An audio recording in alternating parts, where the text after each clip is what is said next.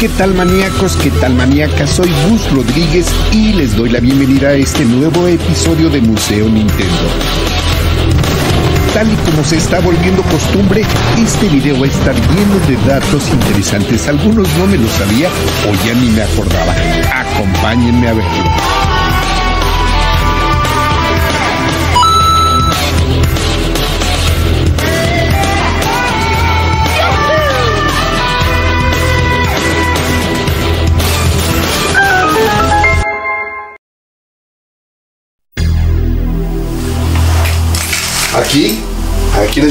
Ajá. Sí, sí, más. Ya me hiciste sacar. Estás grabando, ¿verdad? Ya me hiciste sacar todas mis cosas aquí. Y me estoy encontrando cosas verdaderamente maravillosas, ¿ve?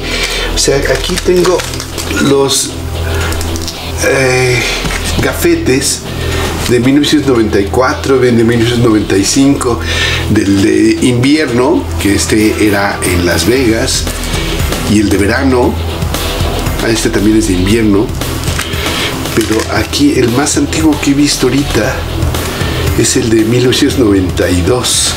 Tal vez este haya sido el primero al que fui. Y fue el Consumer Electronic Show, que después se convirtió este todavía, mira, es de 93. Y están todos agujerados porque como nos daban pins, entonces los poníamos nuestros pins ahí, ve. Este es de,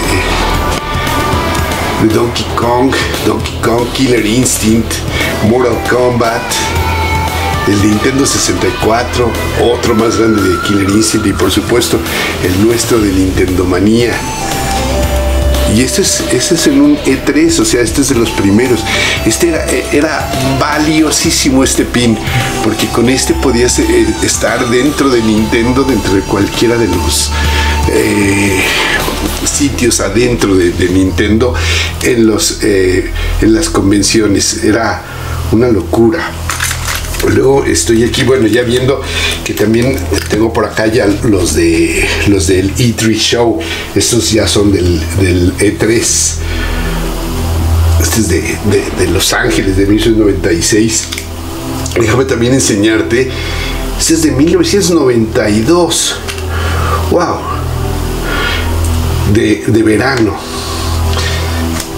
Pero déjame también enseñarte estos que eran también una maravilla. Estos eran para poder visitar Nintendo. No puedes entrar a Nintendo así como, como nomás. Ya llegué. Entonces nos daban nuestros, nuestros paseos por, por Nintendo y, ahí, bueno, ahí conocí la, la famosa Casa del Árbol donde prueban los videojuegos. Obviamente... eh, casi casi al final de cuentas te ponían la pistolita esta de los hombres de negro para que se te olvidara todo lo que habías visto ahí porque era muy especial y, y teníamos, o sea, no, obviamente no podías entrar con cámara ni nada, ¿no? Pero era en nuestras visitas a Nintendo de América en 95, 96. En una de estas fue cuando, 97, en una de estas fue cuando conocí el, antes que, que nadie nos presentaron el, el famoso aparato este de tercera dimensión que ni su nombre me quiero recordar porque no le fue muy bien pero en, en su momento fue como muy especial verlo por ahí ¿no? Listo. Sí, 1991. Este seguramente fue mi primer Consumer Electronic Show. Está bien bonito, lo tengo que planchar. Y uno de estos fue en la primera vez que fui a Japón. Tuve la oportunidad de estar varias veces por ahí, pero después lo que se llamó el Shoshinkai se convirtió en el Space World. Entonces ahí andábamos, te- teníamos aquí nuestras gafete en el cual podíamos guardar nuestras tarjetas de aquí hay varios de Hitoshi Yamagami desarrollo y seguramente lo hemos visto por ahí. Satoshi Matsumura, Midway.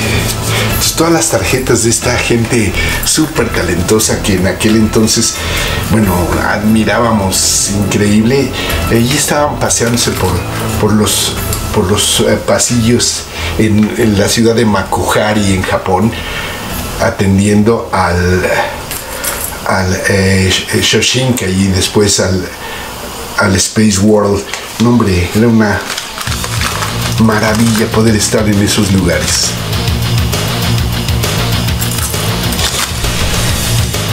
¿Ya?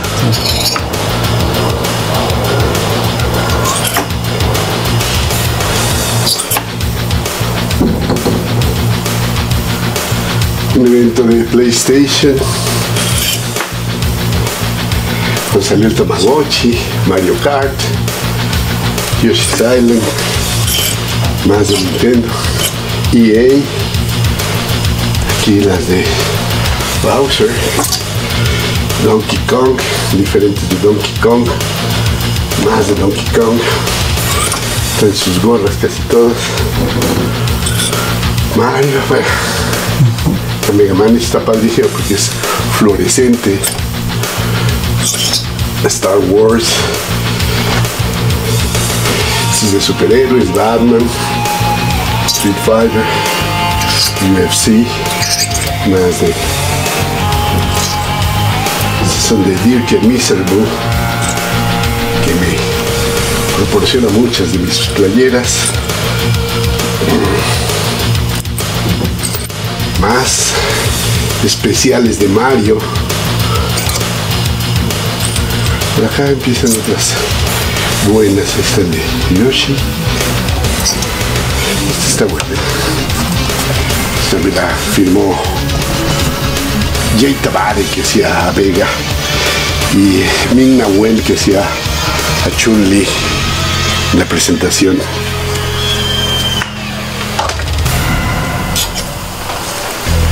Todo el kit completo.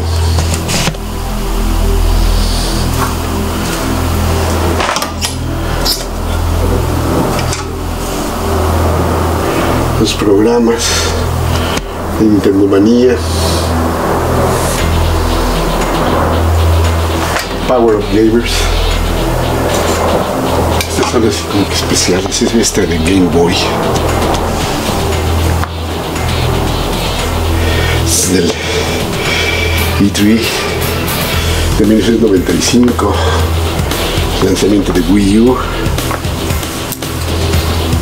Nintendo Manía. Es una especial para Nintendo Latinoamérica.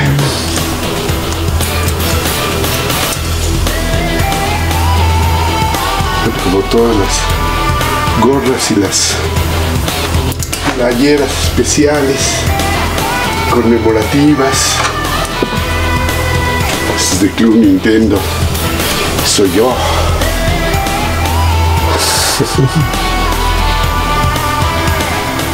Francisco, que es un gran diseñador y que siempre hizo la, la revista Estatoño. Las de Zelda, por supuesto, esas son el chorro. Y siguen allá más y más de toda la colección de revistas y gorras de Club Nintendo y de la Nintendo Manía y de lo que sea. ¿Listo? Sí.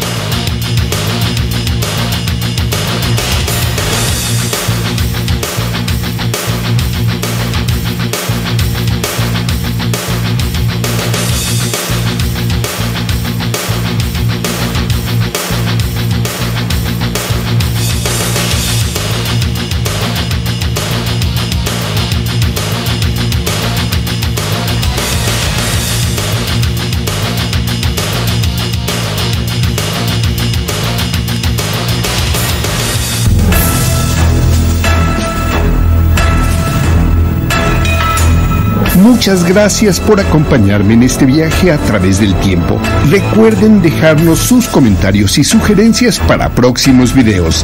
Estamos en contacto.